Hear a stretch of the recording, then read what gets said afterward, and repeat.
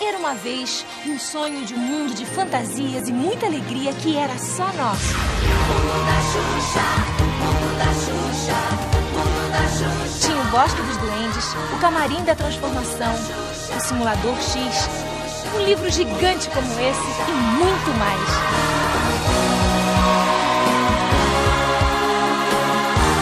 E o melhor dessa história é que ele existe de verdade. É o meu mundo! Vem sonhar comigo! É! Quanto à tristeza, nunca mais se ouviu falar dela.